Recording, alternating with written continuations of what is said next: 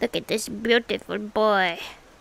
Shame his life was ended so fast from a foul step of stake. He simply did not understand the way of the true Nord. Up to, where is this place called? Sovngarde? Up there he went to Sovngarde, never to be seen or heard from again. Young boy, to Okay, let's reload.